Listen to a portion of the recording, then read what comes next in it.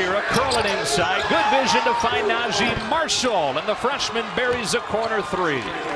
Najee Jones beckoned forward inside. Steph Macura takes it to the rim and will have a chance at three. There's that guy again. Good and stop and start. Got off his feet. It falls to Bluiett, who puts it in for his first points of the oh, game. Living Rightland. Musketeers trying to get it going on this end. There's a high percentage look for the freshman Paul Scruggs.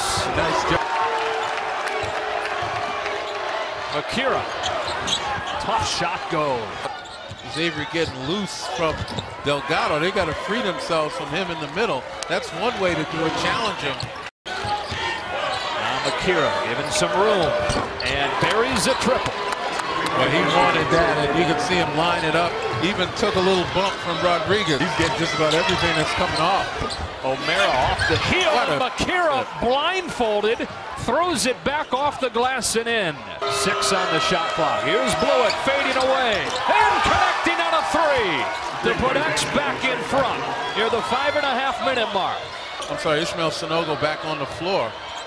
O'Mara banks it in. His first points in two games. And against Sanogo. Bluiett drives and a tough shot that Macura follows. Oh, it is JP's world, and we're all just living in it today.